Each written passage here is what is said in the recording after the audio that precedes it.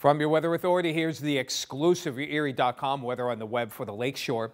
Uh, a lot of clouds for today, maybe some breaks uh, times for the afternoon. Temperatures in the lower to mid 30s. Partly cloudy and cold for tonight, lows in the upper 20s. And from your Weather Authority, tranquility will continue into much of next week. Uh, some sunshine for the weekend. Next chance of rain appears to be in the latter part of next week.